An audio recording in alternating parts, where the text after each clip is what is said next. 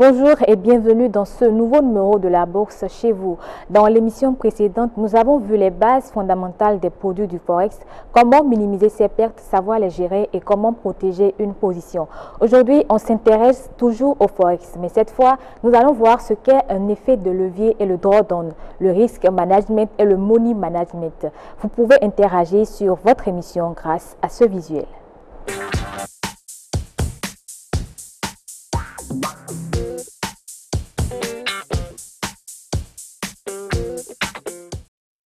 Il faut savoir que sur le Forex, on peut prendre des positions dont le montant est largement supérieur à notre capital et ceci grâce à un mécanisme nommé effet de levier.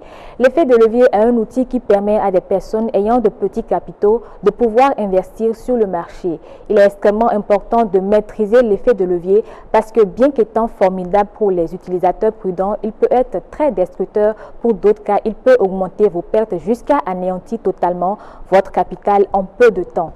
L'effet levier peut vous permettre d'investir jusqu'à 1000 fois votre capital. Vous comprenez aisément qu'il faut l'utiliser avec prudence si l'on souhaite vivre longtemps sur ce marché passionnant.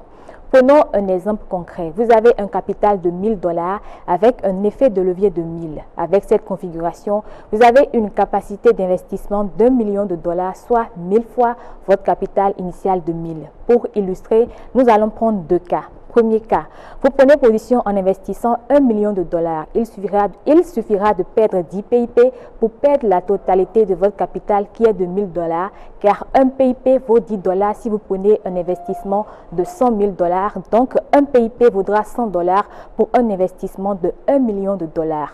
Dans le, dans le deuxième cas, si vous prenez position en investissant le dixième de votre capacité d'investissement, soit 100 000 dollars, il vous faudra perdre dans ce cas 100 PIP avant de perdre la totalité de votre capital. Parlant du drawdown, il faut juste comprendre qu'il vous permet de visualiser les séries de pertes que vous avez connues.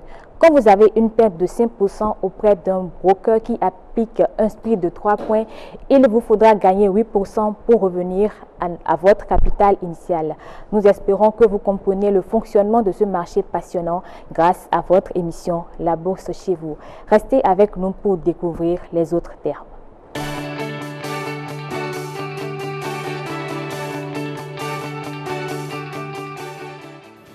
Pour investir en bourse, vous avez besoin de trois choses. La connaissance, le capital et le broker. Si le capital vous manque, nous ne pouvons rien pour vous. Mais si c'est la connaissance et le broker, alors dites Let's for Us est votre solution.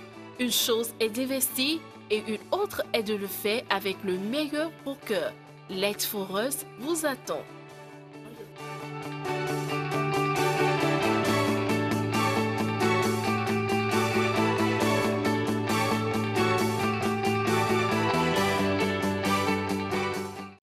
À présent, on s'intéresse au risque management et au money management, deux concepts solidement liés.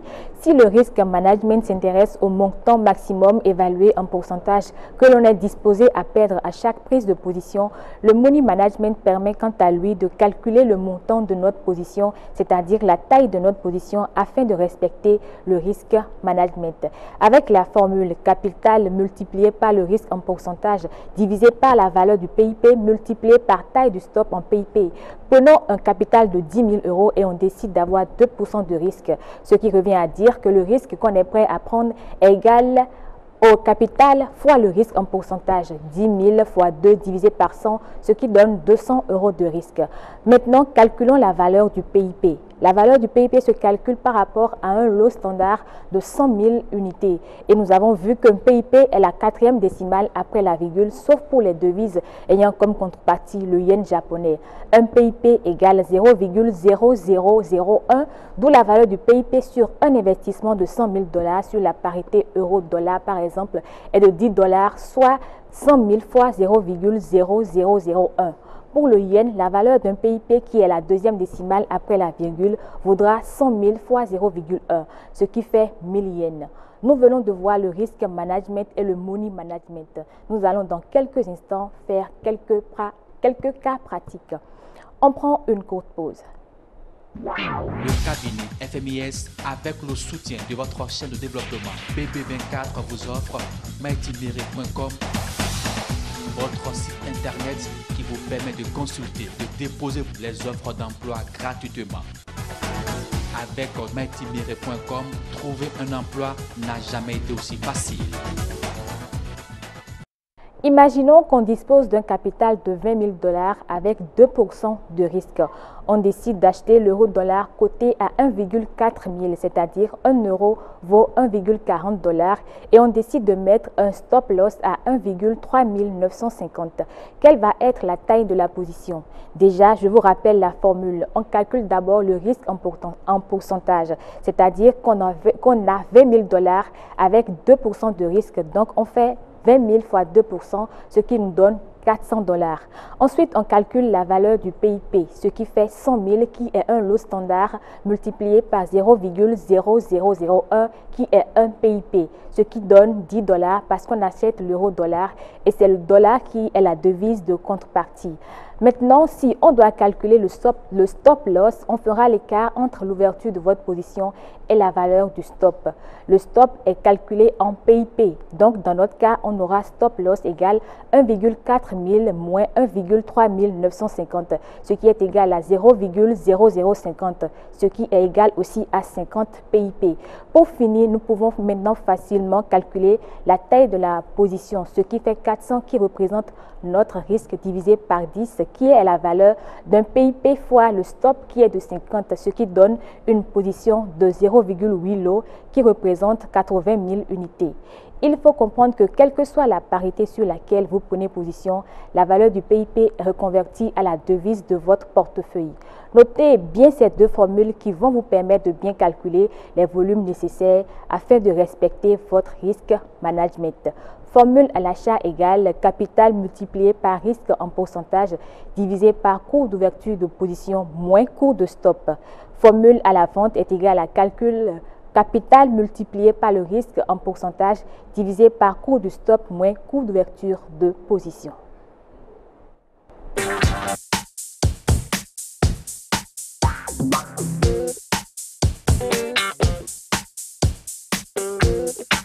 Si vous avez envie d'en connaître plus sur le marché boursier, le cabinet FMIS organise des formations pour vous permettre de maîtriser la bourse et pourquoi pas d'y investir.